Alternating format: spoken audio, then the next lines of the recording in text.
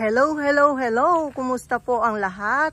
Kung kami po ang tatanungin ninyo dito sa Royal Garden, ay okay na okay lang po kami. Ayan, maaga po akong nag-trim dito sa greenhouse. Kung saan dito kinukuha yung mga namamay nyo na small size rooted bougainvillea and then yung mga nakahang natin dito namin pinagaganda and then pag may walk-in buyers din po ay dito rin sila namimili Ayan, so maaga po ako nag-trim pagliwanag nandito na po ako sa greenhouse. At syempre kinukumusta din natin sa nangyaring uh, bagyo kahapon. Si Pipito ay uh, medyo lumihis naman po siya ng landas. Hindi po niya sinapol si Royal Garden. Dahil naniniwala siya na maraming pamilya rin po ang umaasa at nabubuhay dahil dito sa garden. Kaya tuloy-tuloy po ang ating pagtatanim, ang ating paggagrap at ang ating pagbebenta. Dangan nga lang po ngayong araw na ito ay absent po ang ating admin dahil nalagnat daw. So kahapon hindi pa rin kami nakaka-reply dahil uh, uh, nakikiramdam kami sa lagay ng hangin at ulan kahapon. So sarado po tayo kahapon and then mamaya po ay malamang ko yung aming po mga ginawang precautionary measures like yung po mga naka-reserve na, mga naka-order nyo na lalo na yung mga naghihintay na lang ng schedule ng shipment, ay ipinasok po namin sa loob ng bahay. Maghapon po, ganun ang ginagawa namin, ganun ang ginawa namin. And then ito po, nakita nyo yung mga grafted po natin.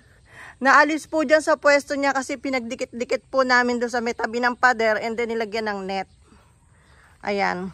So, mamaya po ay uh, kapag pumasok lahat yung gardeners natin ay maghapon po nila ulit na aayusin yan. Kaya hindi pa po normal ang uh, garden natin ngayon. Uh, kung pasensya na kung hindi pa makaka-reply sa mga messages ninyo, sa mga inquiries ninyo, mabibisi po ulit kami mamaya para mag-ayos dito. And then, ito po mga matataas natin na grafted. Ayan, napansin nyo, hindi po kami dinaanan ng malakas na hangin. Thanks God. At salamat kay Pipito, hindi ka nagdaan dito.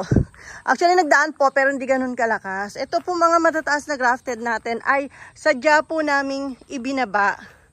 Ayan, ibinaba na po talaga para kung sakali mga lumakas yung hangin ay hindi po masira yung kanyang mga sanga. Yan. Kung uh, kayo po ay uh, nakasubaybay sa aking YouTube channel or kung kayo po ay uh, dati pang viewers dito sa YouTube, Uh, meron po na akong dating vlog. Si Carding yata yon kung saan napatumba niya lahat itong mga grafted ko na malalaki na hindi ko alam na hindi pa ako marunong nun maghanda. Hindi pa marunong ng ganitong diskarte. Kaya naging lesson po sa akin yon. Kaya ngayon, lagi ako nakamonitor kapag may bagyo. At uh, kapag alam ko natatama dito sa area namin, ganyan na po kaagad ang pinagagawa ko before pa dumating yung hangin. So ayan, nakababa na po silang lahat. Um, talaga na lang, masira man ito, masira, kung masisira pa to talaga na lang, uh, malakas na lang talaga yung bagyo kapag nasira pa niya to. Unang-una ititrim yung mga pwedeng itrim, pero may mga ano po kasi na grafted po kasi na malalago talaga na sayang kapag itinrim, ayun. So yung iba hindi hindi rin natitrim ng ng heavy, hindi na heavy prune. Pero yung kayang i-heavy prune, ayan, tinitrim po namin. Eh, pero yung ganitong full of flowers, sayang pong itrim. Kaya, um, ayan, sama-sama na sila, basta lahat sila. Higa muna, tulog muna. tulog muna, hanggat may bagyo. So, ayan, natutulog muna sila. Mamaya kapag pumasok lahat yung gardeners natin ng mga boys, uh, pagtutulong-tulungan naman nila itong itayo muli. Iayos ulit. Ayan, si Foxtail Red, hindi pala na naalis dito. Buti na lang po, mahina lang talaga yung hangin. So, hindi pala naihiga si Foxtail Red, pero okay pa po siya. Dahil hindi naman niya po ganun kalakasan ang hangin. Ito naman pasuna to, lagi ko pa ulit-ulit yung tinatanong. Gusto po kasi mother plant na 21 GWs ang ilagay dito. Lagi naman namamatay. Yan, mga patay yung mga katabi niya. So, ito pa sa side na to. Dito po kasi, yung side na to, malalaki talaga yung nandito, matataas. So, lahat to natulog muna kahapon. Hanggang ngayon, hanggang wala pa gardeners natin, ay natutulog pa sila. Ayan. Pero ito pong malalaki na to, talagang ano, sapalaran na po ito. Hindi na namin to kayang itumbay. So, maghihintay na ng kapalaran niya. Kung kapalaran niya talagang masira, wala tayong magagawa. So, ngayon naman po, okay pa sila. Umaga, fresh na fresh po sila ngayon. So, medyo nakiliti lang sila sa hangin ni Pepito. Yan. So, natutulog pa lahat yung ating malalaking grafted. Mamaya pa sila gigising pagdating ng mga boys natin. Madali na lang po itayo ito, diretso na lang. Pagka po kasi binababa, ingat sa mga sanga. Pero pag itatayo na lang, okay na. Mabilis na yan. Then ito po yung nasa may gate na super lago po nito. Ayan, ibinabarin po yung mga sanga. Kangina, nung lumabas ako, itinrim ko na yung iba. Kasi pag nasa taas na yung sanga, mahirap nang itrim. So tinrim ko po, hindi po bagyo ang nagpalaglag ng sanga na yan. Ako po. Yan, tingnan nyo naman kung gaano kakapal yung kanyang sanga at sa dami ng bulaklak. Hindi po maititrim yan na papaliitin. Sayang kasi. Kaya ganyan po. Nahiga rin po siya. Yan. So, yan po yung mga paghahanda na ginawa namin bago dumating yung bagyo. Kaya, it's good po at uh, lumihis yung bagyo. Hindi masyadong malakas yung dating dito. So, wala pong problema. At kung sakali naman po lumakas, ang possible lang po na iniisip ko na masisira, ayun po mga greenhouse namin. Kasi yung ibang greenhouse ko po sa likod ay luma na. Pero ito po nasa harap na to, kapapagawa lang to ng last summer. Tsaka yung nasa bukid, kagagawa lang. Talagang ano na lang, malakas na lang talaga siya pag nasira niya. So yan, ilang, ilang beses na po kasi kung dinaanan ng bagyo mula nung mag-garden ako. Kaya medyo, ano na ako, um, uh, alam ko na kung paano sila paghahandaan. Yan, mahaba po ito oh. Tatlong susun po, tatlong hilera yung mga grafted na yan. Tapos pinalagyan ko ng net. Tapos yung net po itinali doon sa, ayan, sa simento na patungan. Talagang malakas ka na lang bagyo ka kapag yan ay nasira mo pa or nagalaw mo pa. Yan, next time po sa mga may garden dyan, pwede nyo po itong gayahin or subukan. Sa susunod na mga panahon, hindi natin maiiwasan po yung bagyo kaya dapat alam natin kung paano sila paghahandaan. Pwede nyo po itong gayahin sa mga susunod na panahon na may darating na bagyo. Basta lagi po kayo nakamonitor. Meron po akong application na Windy. Try nyo pong i-download yun. Nakikita po yung galaw ng bagyo. Kung malapit na sa area mo or kung posibleng lalapit o tatama sa area mo, dapat ganito yung gawin mo. Pero kung hindi naman, at may bagyo lang, malayo naman, okay lang. Wag nang, trim na lang po ang katapat nun. Okay na siya, trim na lang. Ito ay ginagawa lang kapag talagang tatama sa area mo yung bagyo.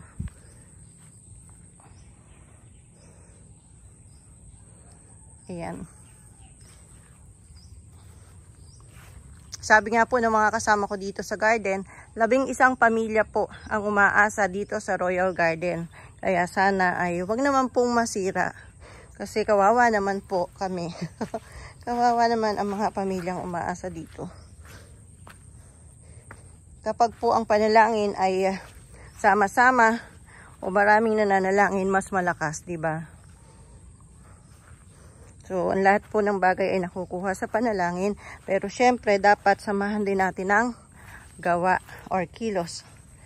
Yan, basta trabaho lang, then tipid tayo, then sabayan ng pray, pasasaan ba at makaka, makaka, ano tawag dito?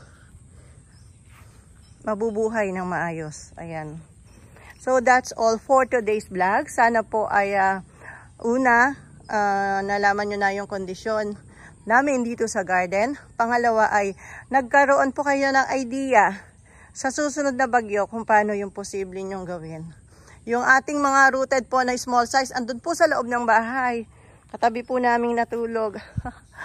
nasa kusina namin yung iba, yung iba nasa... Talaga pong ano, yung mga reserve na, na naghihintay ng shipment, yun po yung una naming isinalba. Tapos yung mga naka-reserve na rin, na ready for pick up na, yung iba po ay bayad na, hindi pa lang napipick up. Yun po yung mga una na pinasalba ko doon sa loob ng bahay para sigurado at wala namang masabi ka ako sa atin yung mga customer natin. So that's all for today's vlog. Ay eto buti na lang mahina ang bagyo. Itong super ganda ko ay sabi ko nung nag-aayos kami ng bandang hapon na malapit na, mag, malapit na mag-uwian. Ito takpan nyo na lang ng net. Tapos meron pang dalawa dito na makapal na alanganin kasi hindi pwedeng i itagilid. Mahirap din naman buhatin at mabigat. Takpan na lang ng net. So siguro nagmamadalian na hindi na natakpan ng net. Hindi ko na rin nabisita. Tatlo yung malago na yan eh. Buti na nga lang, mahina lang yung hangin. Hindi sila nasira. Nasira sila, sayang. Sayang.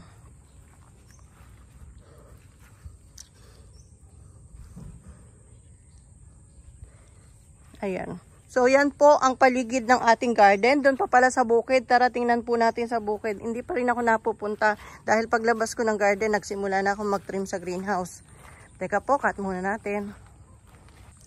And, eto po tayo ngayon sa uh, garden natin sa bukid.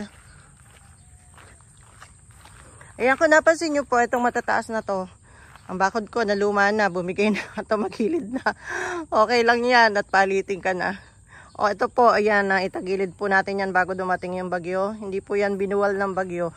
Nat, sadya pong ibinuwal namin bago dumating yung bagyo. Yan po yung aming mga preparation. And then, ito po, yung bago palang tumutubo, eh, hinebi ko muna.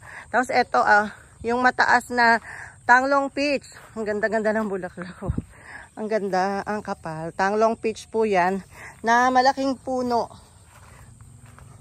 Yan, di ko matrim kasi nagagandahan ako baka sakaling makaligtas. So, ganyan po, ia-anchor nyo po. Tatali nyo muna ng lubid doon sa, yung puno, doon sa paso, and then ganyan. So, ayan, o, oh, ligtas siya, di ba? Tapos, itong mga medium size na to, na panibago pa lang, bago-bago pa lang tumutubo. Ito sa grafted po, meron akong variegated na Violet September ba to or splash. Basta variegated to. Ayan. Pagka po may bago akong variety kasi, sa grafted ko muna pinalalagay.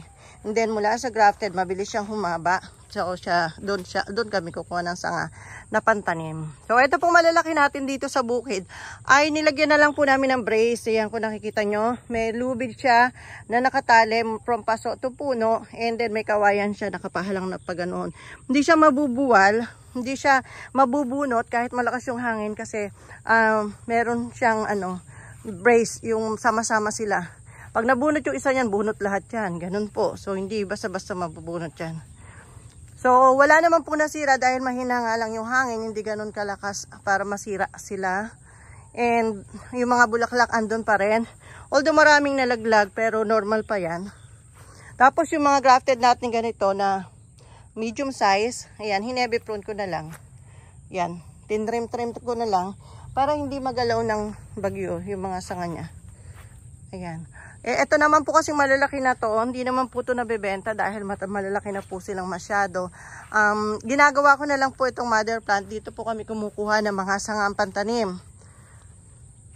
Pero kung may bibili po nito, di okay, kaya bang buhatin? Okay, basta kaya. Pero ano, yung dito po kami kumukuha. Every time na magtitrim dito, tinatanim namin. So, ang iniisip ko dito, dito kung sakali mang masira ng ano, ng hangin, ng bagyo, yung sangang masisira, itatanim na lang namin. Ang importante po, yung puno, andyan pa. O, edi grab ulit. Tapos, babuti na lang nakapag grass cutter bago bumagyo. Ayan, eto may sira to. Yung sanga niya. Na-trim na kasi dati to eh. Kaya hindi ko trim ulit. Hindi ko na nag-tinrim ulit. Mga mahara kasi to eh. Yan, dalawang sanga lang niya. Medyo ano, nabali. So okay pa, normal pa. Tapos dito may mga bagong grap. Yan, marami tayong bagong grap dito.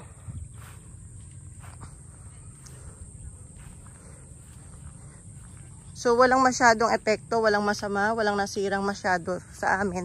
Dito sa amin ng bagyo kasi nga ay hindi siya, hindi naman kami nakasentro. Dati talaga ang track ng Bagyo ay dadaan daw in between San Miguel and Gapan. Buti na lang na bago yung medyo lumihes. So nakasalba. And then ang palay po natin medyo tumataas pa lang. Ito mga tinrim ko kahapon ng umaga ko lang tinrim to. Nagkalat pa isa nga. Bago lumakas yung hangin na itrim ko. Then ang palay po natin ay hindi pa naman po sumasapaw kaya okay pa siya. Hindi naman siya naapektuhan, walang dadapa kasi wala namang bunga. Kakaano lang, kakatanim lang. So ayan. Wala pang sumisilay pa lang po yung araw kaya hindi pa masyadong malinaw yung ating video. Kapag nag-video ka ng katanghalian, ayun malinaw na malinaw. Ito sumisilay pa lang. Ito po mga ano, ganitong paso. Ayan. Uh, buhay na yung mga nakagrab sa kanya. Hineavy prune ko and then pinababa ko sa patungan. So yan, baba lang po sa patungan. Para hindi masira ng hangin. And dito may mga RS tayo na hindi pa nagagrap. Yan. Then yung mga naka-square pot na to ay mga mother plant po natin ito. Uh, soon po kapag uh, medyo maluwag na kami sa trabaho, unti-unti po yung ililipat sa tabon doon sa likod bahay uh, na pinatambakan natin. Maluwang din doon eh. So, lahat ng mother plant doon, doon ko palilipat lahat yung mother plant. Dito matitira yung mga grafted. Para medyo lumuwag po at na makapaglagay po ako dito ng kahit maliit na kubo. Para pag may bisita po kami, may nagbibisit dito sa garden, ay meron pong napag-uupuan, napag-i-stayan. Ayan, yan po yung mga plano natin. And then yung greenhouse natin doon po sa bukid, okay na okay lang siya. Kasi mababa yung position niya, yung pwesto niya. Mababa yung pwesto. So, ito si mamaw natin. Ayan. Fresh na fresh, nagyayabang. Okay daw siya. Ayan, ito nasira lang sa pagkakatali. Pag tinali yan, okay na ulit yan.